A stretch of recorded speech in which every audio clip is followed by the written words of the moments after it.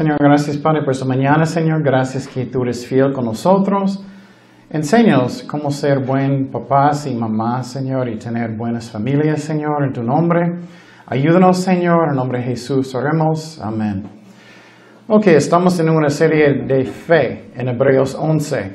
Y Dios puso mi corazón de hacer eso um, porque la fe es tan importante y tanta confusión que es la fe.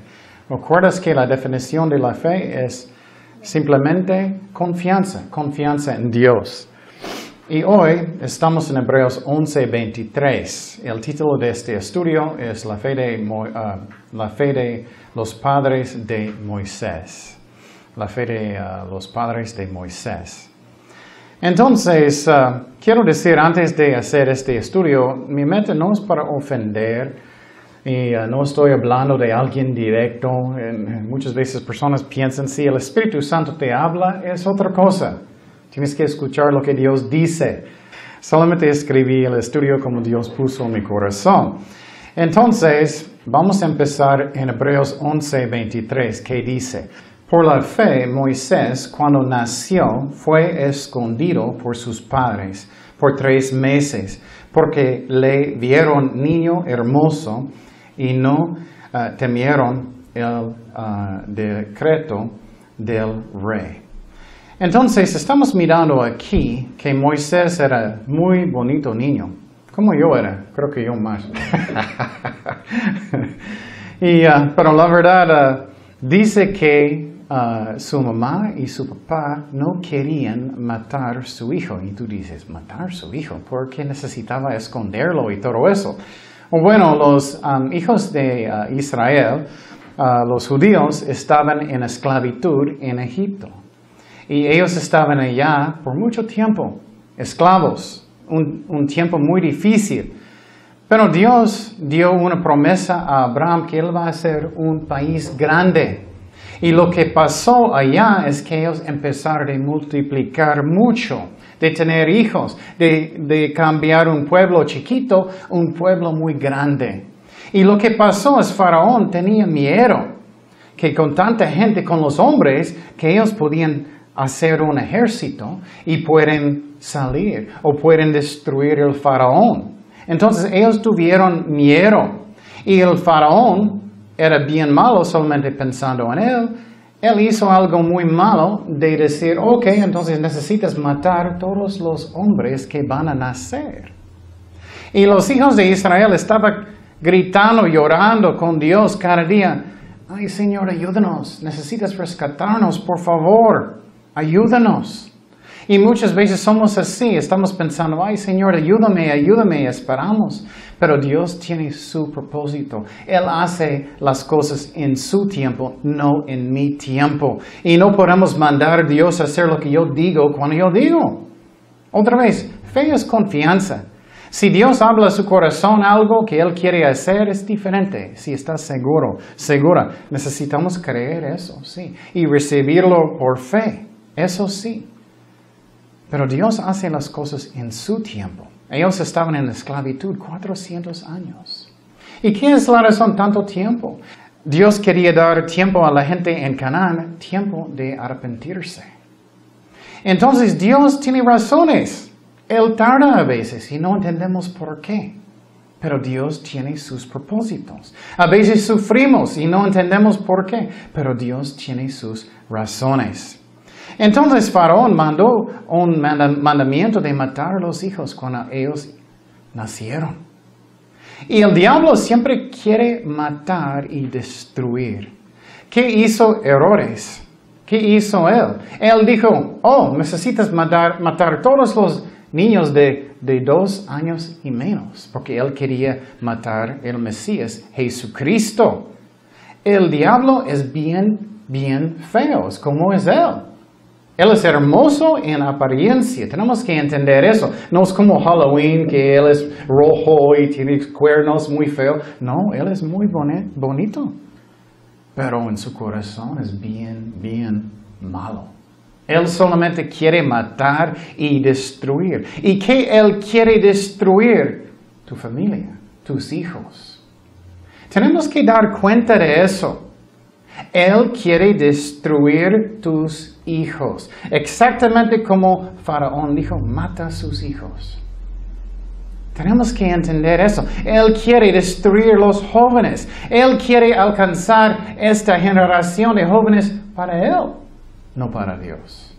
Eso es su meta. ¿Qué es la razón? Si puedes ganar la generación que es joven, ¿qué? Vas a tener ellos cuando ellos crecen usualmente. Entonces el diablo es un mentiroso y él mata, él quiere. ¿Qué dijo Jesús de eso? Dice en Juan 8, 44, vosotros sois de vuestro padre el diablo. Uh, él está hablando de, de los fariseos y diferentes, pero ellos eran guiados por el diablo. Y los deseos de vuestro padre queréis hacer. Él ha sido homicida desde el principio y no ha permanecido en la verdad, porque no hay verdad en él. Cuando habla mentira, de suyo habla, porque es mentiroso y padre del mentira.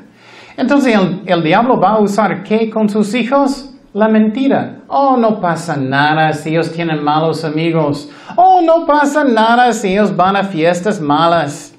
No pasa nada si ellos están mirando malas cosas. No pasa nada si ellos no van a la iglesia. No pasa nada. Él usa la mentira muchísimo. Oh, puedes ganar a esta persona para Cristo y, y, puedes salir con ellos aunque ellos no son cristianos, pero voy a ganarlo para Cristo porque es guapo o es guapa. Eso es realmente la razón. El diablo quiere destruir y matar sus hijos espiritualmente principalmente. Entonces, ¿qué pasó en Egipto? Faraón, y estoy seguro que el diablo estaba hablando también en el corazón de Faraón, él dijo a los uh, parteras, mata a los hijos cuando ellos iban a nacer, mátalos cuando ellos nacen. Entonces, qué feo es eso. ¿Puedes imaginar eso? En Ensenada mata a sus hijos cuando ellos van a nacer? Vamos a mirar lo que dice la Biblia de eso. Dice en Éxodo 1.15, y habló el rey de Egipto a los uh, parteras de las hebreas, uno de las cuales se llamaba Cifra y otro Fua. Y les dijo, cuando asistáis a las hebreas, y sus partos, en sus partos, y, veáis el sexo, si es hijo, mátalo. Y si es hija, entonces viva. Pero las parteras también temieron a Dios. Quiero que fijamos en eso. Ellas temieron a Dios. Y no hicieron como les mandó el rey de Egipto, sino que preservaron la vida a los niños. Entonces, ellos hicieron lo que Dios dijo, no el mundo, no la cultura. Quiero decir eso claramente, no el mundo, no la cultura, no la familia. ¿Qué dice la Biblia primeramente? ¿Qué dice Dios?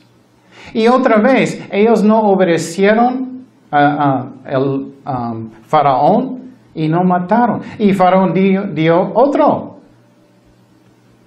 mandamiento. Él dijo que, Éxodo 1, 22. Entonces Faraón mandó a todo su pueblo diciendo, echen al río a todo hijo que nazca y a toda hija, preservar la vida. Entonces, ¿qué pasó? Empezaron a hacerlo más en otra manera. Posible él pensaba, ah, es más fácil de echar un hijo en el mar que solamente mátalo directo. Y quiero decir otra vez, el diablo quiere destruir tu vida, tu familia, tus hijos. Y estamos fijando en los hijos ahora. Y Moisés, Moisés nacieron, ellos no mataron. Ellos escondieron el hijo por tres meses. Entonces, Vamos a mirar la historia más directa. ¿Qué dice en Éxodo 2.2? Dice, la que concibió y dio a luz un hijo, y viéndole que era hermoso, le tuvo escondido tres meses. Primeramente, la mamá de Moisés no obedeció al diablo, el mundo, no obedeció la cultura, ella obedeció a Dios y ella tenía fe en Dios. Esa es la clave. La clave de obediencia principalmente es fe. Y tú dices, ¿por qué fe? La razón es porque si tú crees realmente lo que Dios dice, vas a obedecerlo mucho más fácilmente. Si tú crees, ah, no pasa nada, no importa si estoy obedeciendo lo que dice la Biblia, no, no vas a hacerlo. Entonces, esas mujeres no obedecieron al mundo, la cultura, pero a Dios. ¿Tú haces eso con tus hijos? ¿Escondes sus hijos del mundo? Necesitamos. Muchas personas dicen, y ellos creen el, diablo, cuando ellos dicen, pero ellos necesitan estar en el mundo porque van a estar, no estoy diciendo necesitas ir a un monte, pero ¿qué tienes en su casa? ¿Tienes música cristiana o del mundo? ¿O tienes programas feos en el tele o tienes del mundo? ¿O sales con amigos del mundo?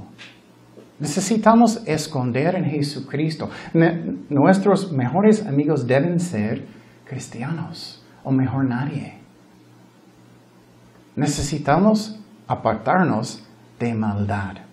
Y muchos dicen, no, no importa, no importa. Es una mentira del diablo. La Biblia dice, no puedes burlar de Dios. Lo que vas a sembrar, vas a qué? Cosechar. No necesariamente inmediatamente, pero vas a tenerlo en el futuro si no obedeces a Dios.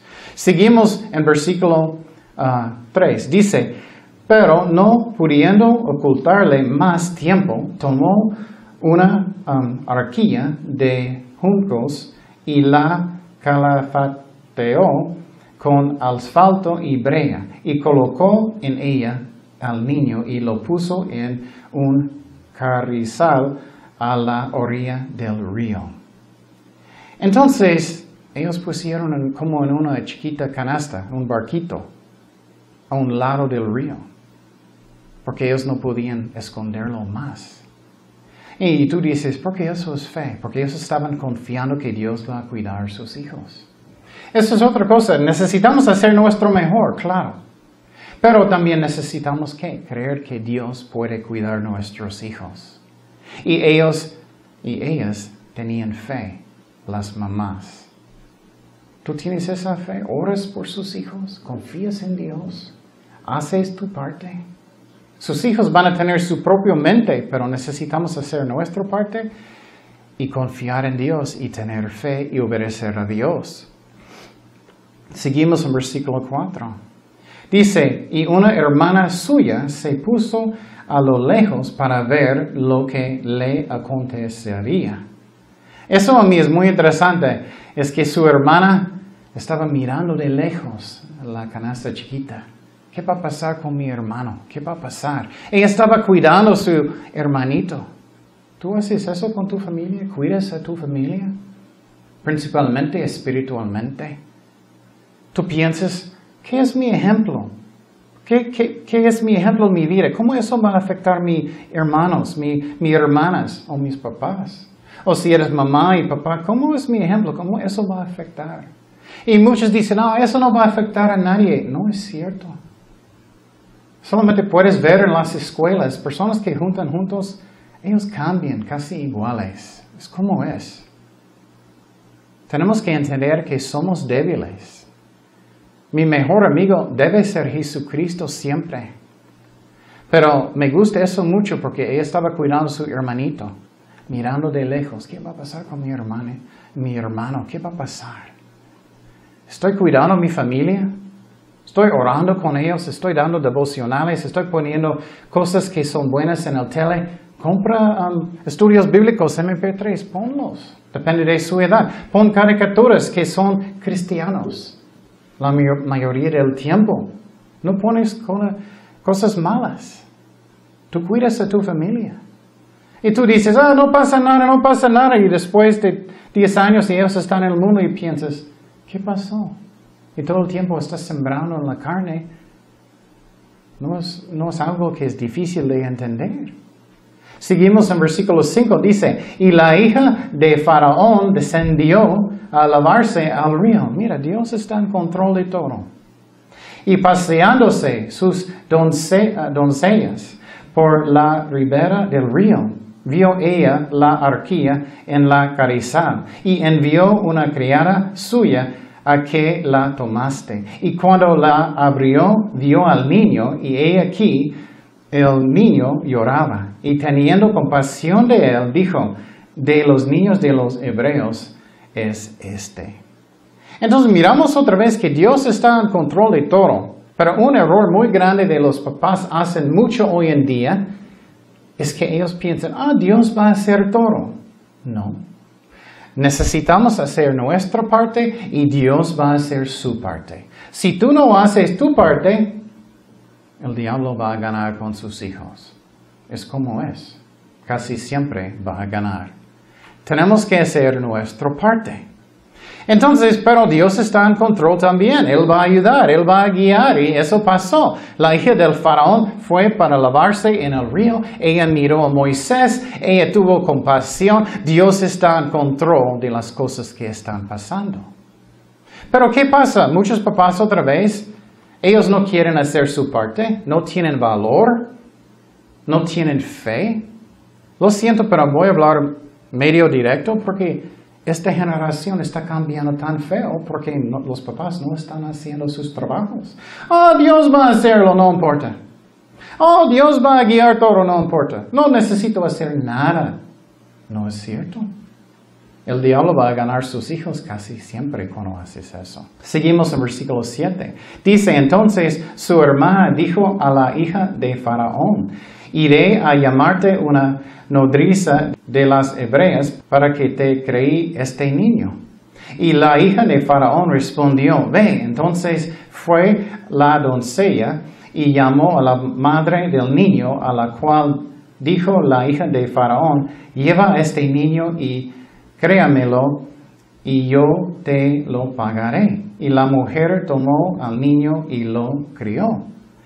Entonces, eso me encanta. Lo que pasó es que uh, hermana estaba mirando de Moisés y ella ofreció, oh, voy, voy por alguien para cuidar al niño.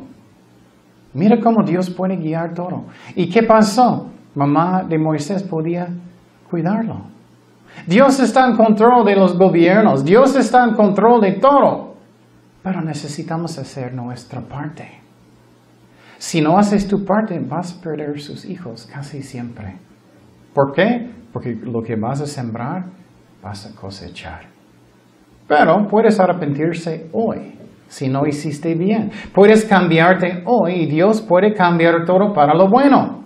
¿Qué pasó con, con Jacob?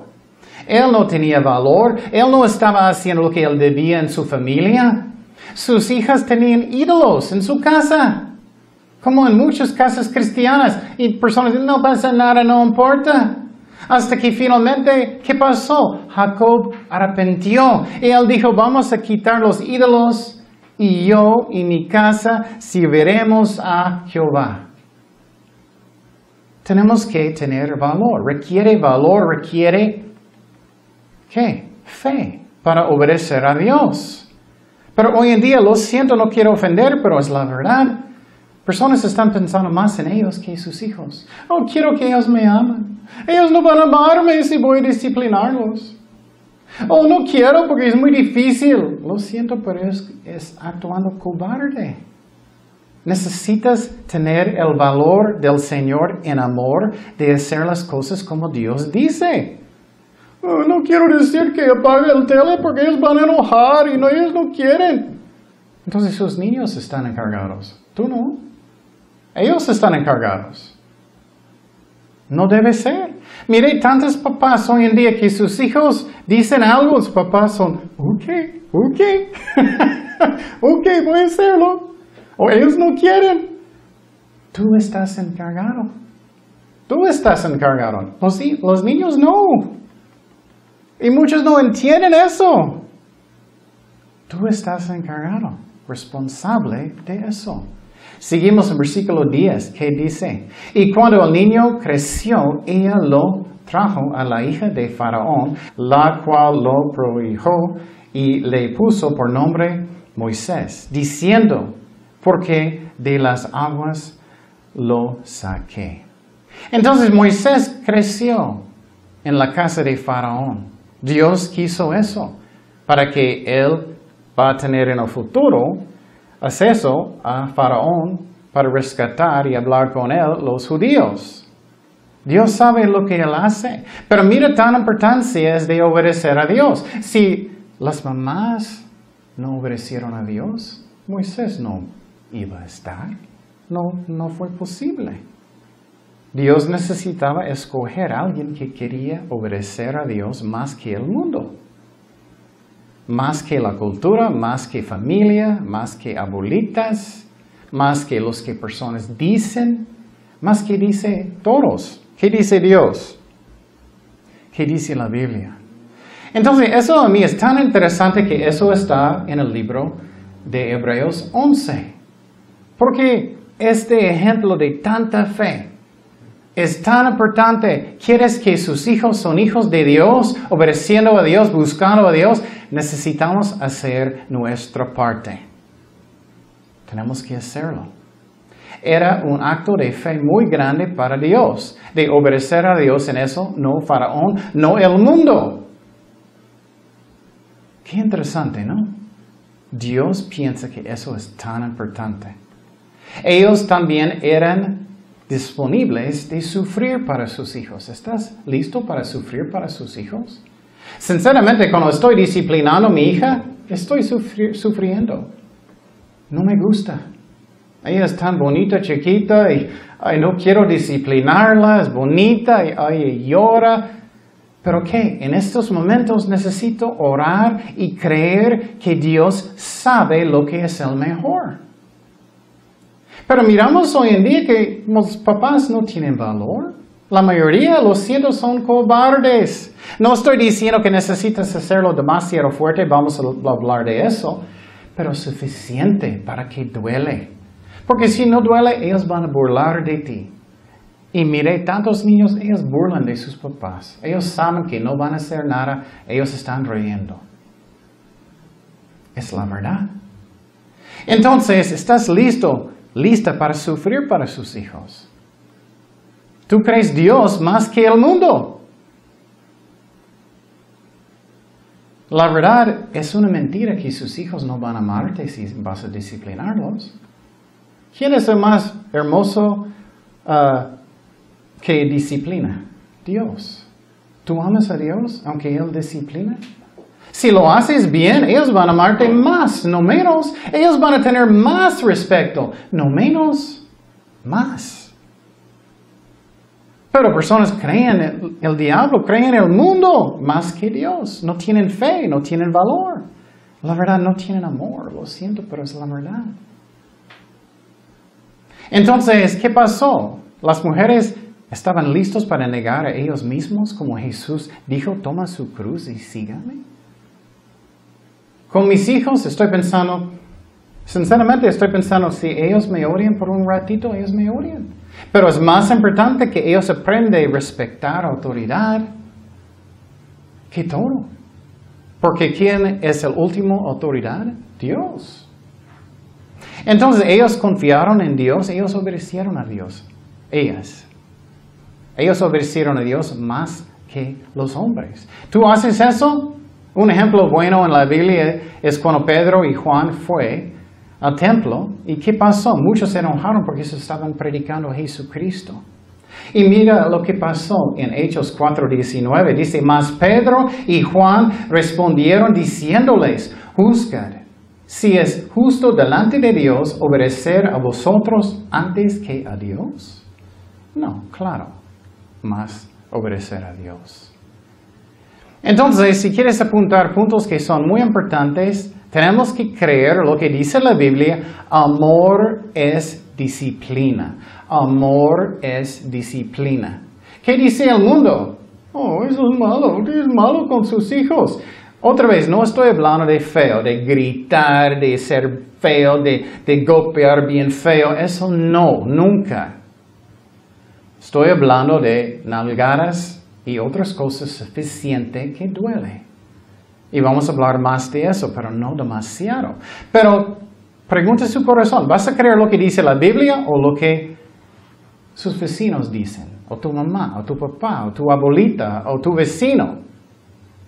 ¿O qué dice la Biblia? Dice en Proverbios 3:12, porque Jehová al que ama, castiga, como el Padre al Hijo a quien quiere. Wow. Dice que es amor para disciplinar. ¿Qué es la razón? Porque estás enseñando a sus hijos de respetar autoridad y respetar el último autoridad es quien es Dios.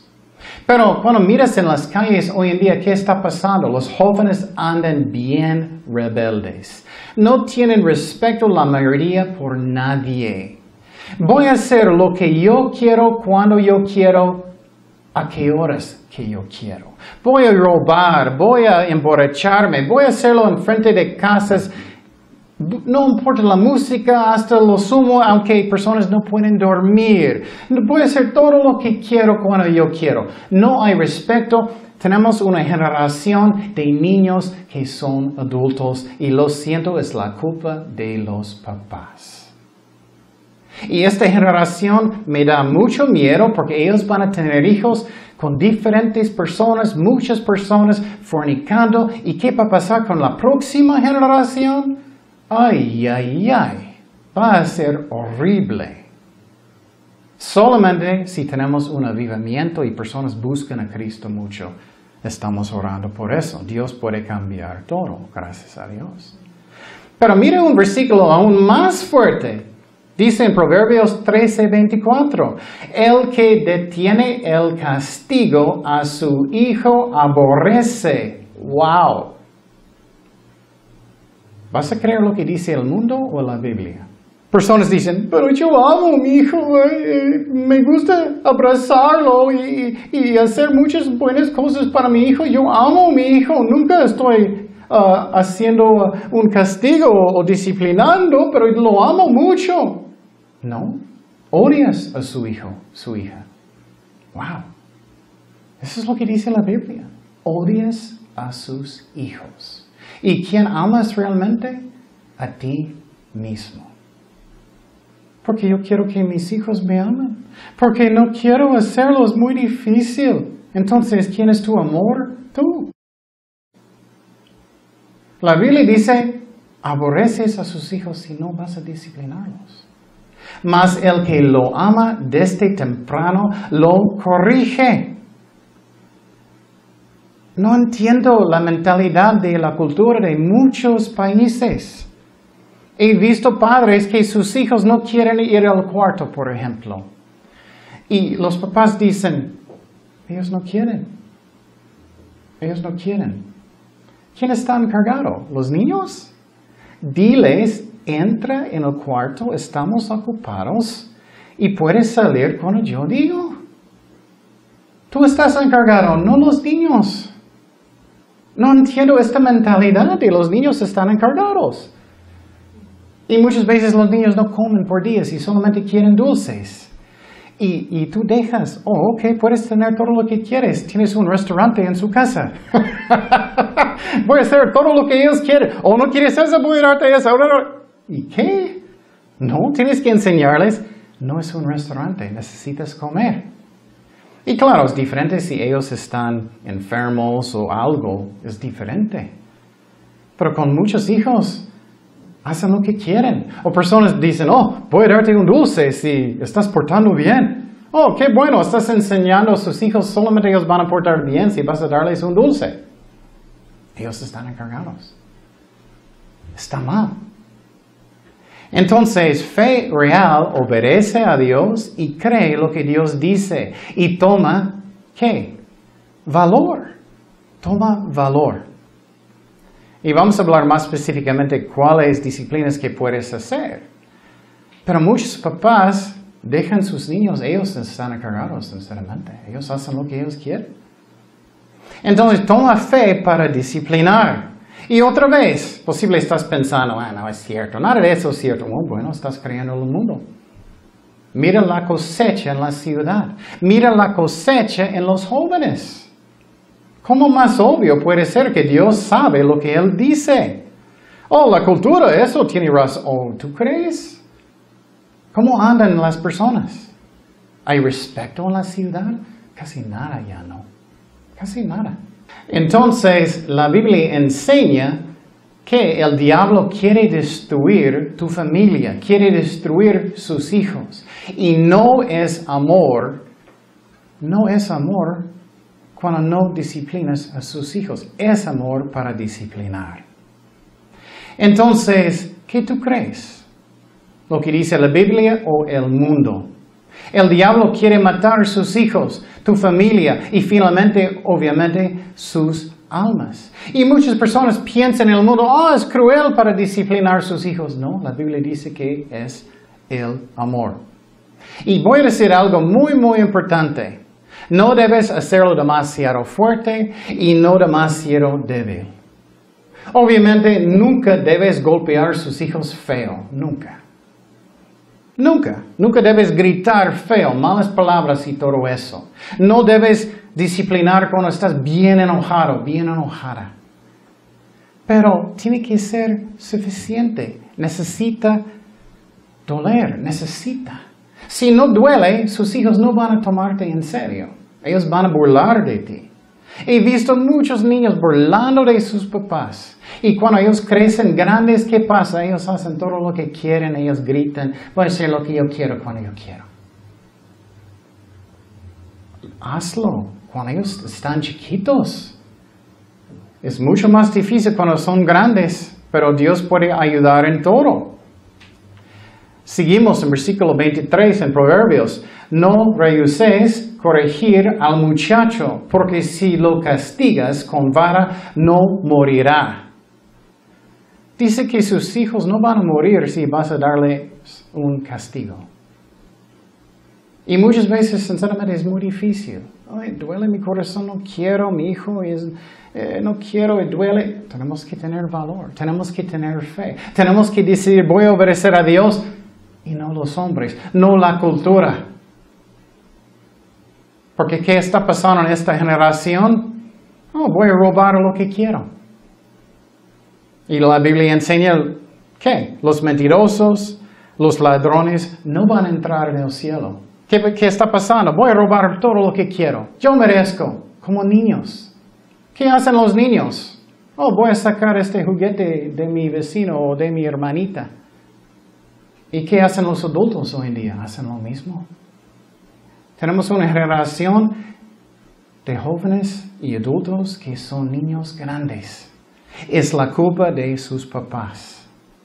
Porque no quieren hacer lo que Dios dice. No quieren disciplinar. No quieren enseñar y respetar autoridad. Voy a hacer lo que yo quiero cuando yo quiero exactamente como niños chiquitos. Voy a meter en la fila cuando yo quiero. Voy a meter donde yo quiero cuando yo quiero. Voy a enojarme cuando me digas algo. Voy a enojarme mucho porque dijiste algo en contra de mí. Eso pasa mucho. ¿Qué dice en versículo 15? La necedad está ligada en el corazón del muchacho, mas la vara de la corrección la alejará de él. Esas son las palabras de Dios, no el hombre. Y podemos ver en el mundo la cosecha. No hay respeto, no hay paciencia, no hay respeto para los papás. ¿Qué dice la Biblia que va a pasar en los últimos días? No van a respetar sus papás. ¿Y qué estamos mirando? Exactamente eso.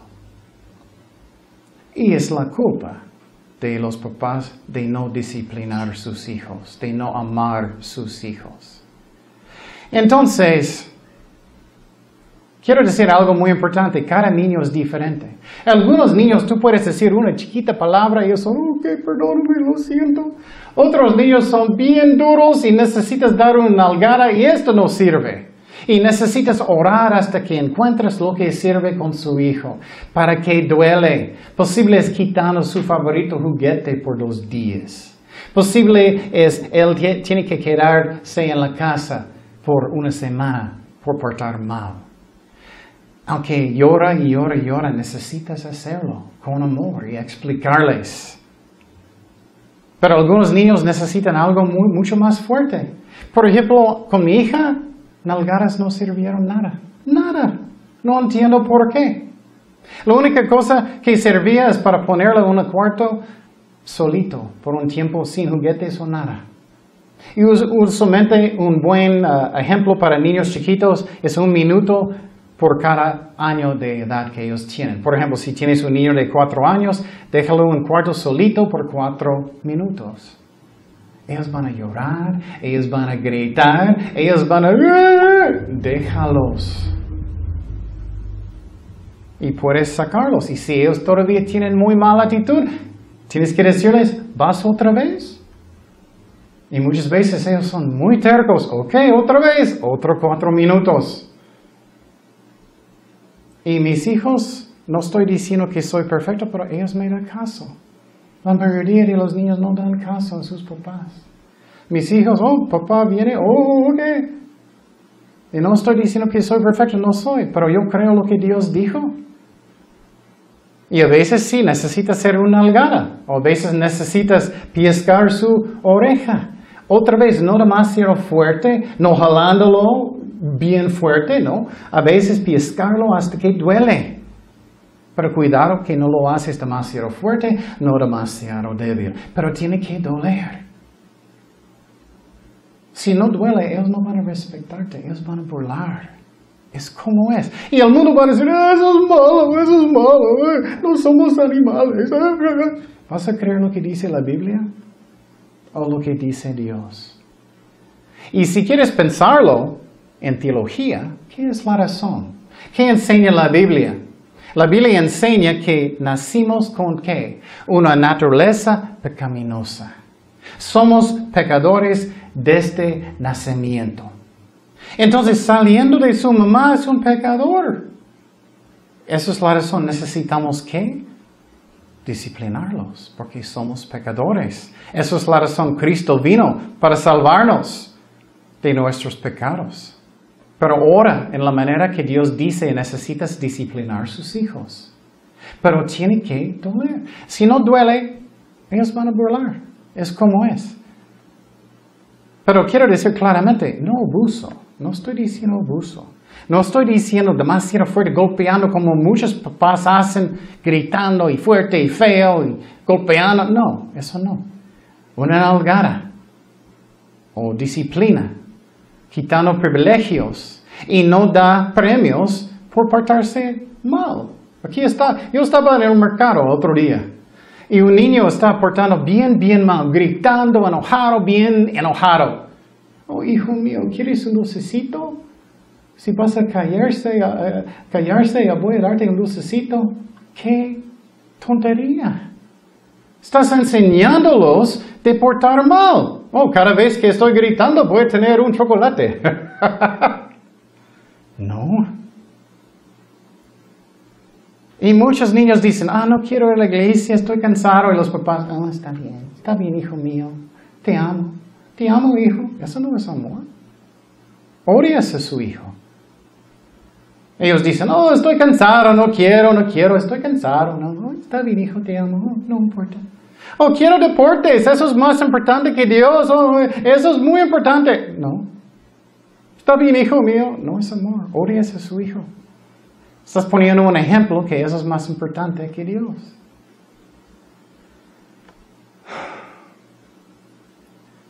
Mira el ejemplo en 1 Samuel 2.29. El sacerdote Elí sus hijos estaban portando bien mal. Y él habló con sus hijos, pero muy débil. ¿Por qué haces eso? ¿Por qué? Y Dios enojó mucho con él y porque no hizo nada. Dice en 1 Samuel 2.29, porque habéis hollado mis sacrificios y mis ofrendas que yo mandé ofrecer en el tabernáculo y has honrado a tus hijos más que a mí, engordándolos de lo principal de todas las ofrendas de mi pueblo Israel.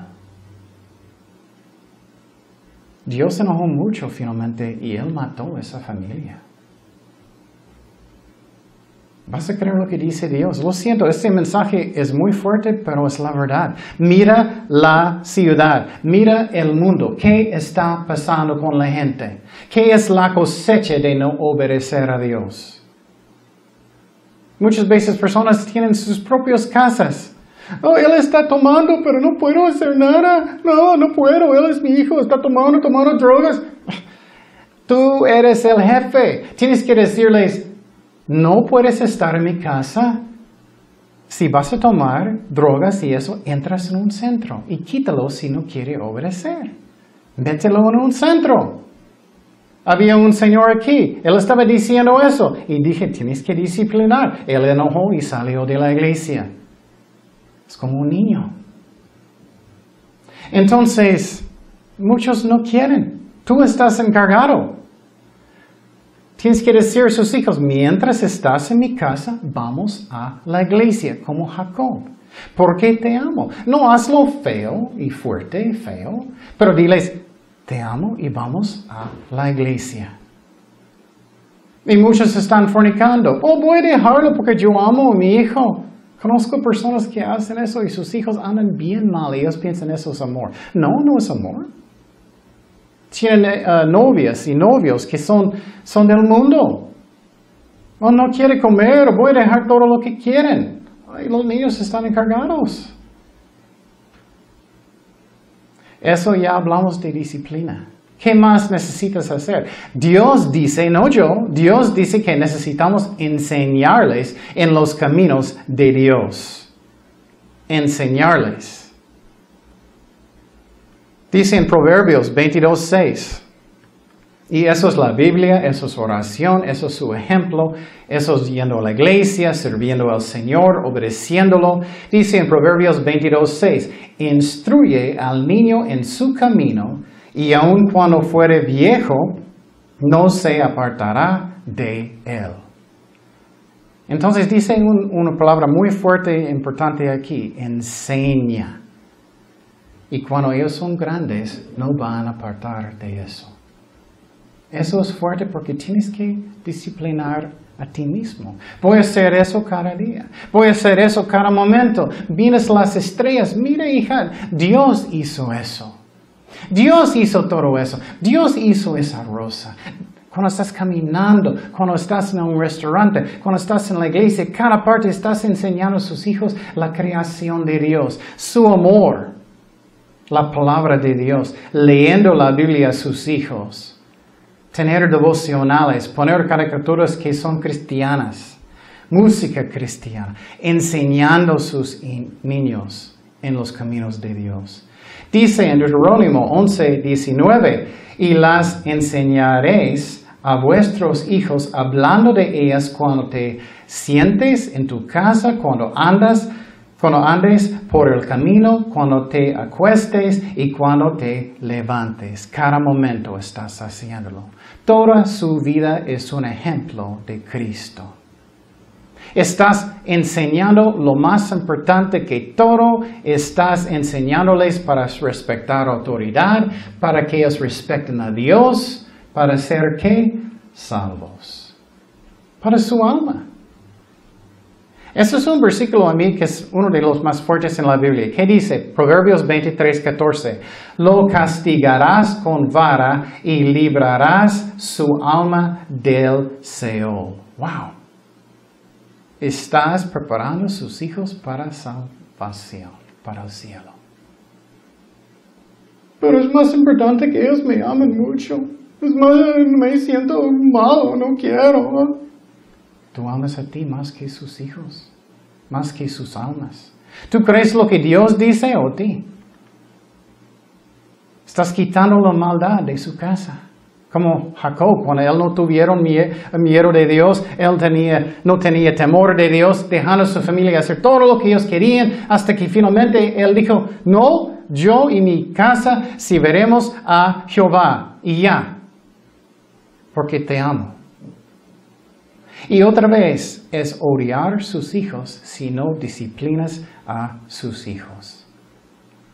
No debes dejar sus hijos tener sus mejores amigos en el mundo. No debes. Y muchos dicen, pero ellos no quieren. ¿Quién está encargado? ¿Tú? ¿O ellas? ¿O ellos? ¿Quién está encargado?